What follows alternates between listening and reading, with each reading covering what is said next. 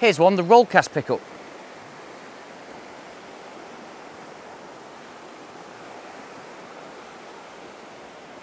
Nice, gentle delivery.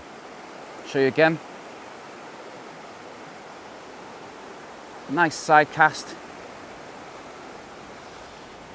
Gives you a bit more time, control to get accuracy.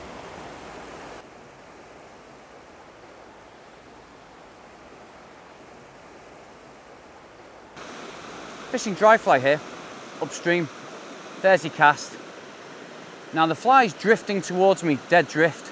I don't want to strip line in because it means I'm going to have to false cast it out again. So all I'm going to do is just lift that slack line into my D-loop.